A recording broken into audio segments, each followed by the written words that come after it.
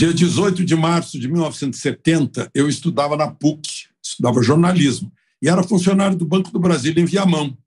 E fomos assaltados, eu estava lá, fomos assaltados pela vanguarda armada revolucionária Palmares, com boininhas, com, com o símbolo aqui, gritando Viva Che Guevara.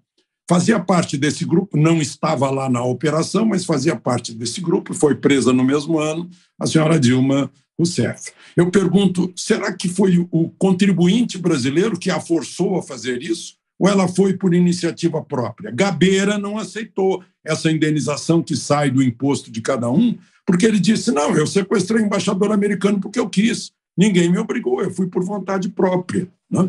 Então, essa questão tem que ser considerada também. E é só para lembrar: o deputado Ivan Valente, do PSOL, também queria e também foi indeferido.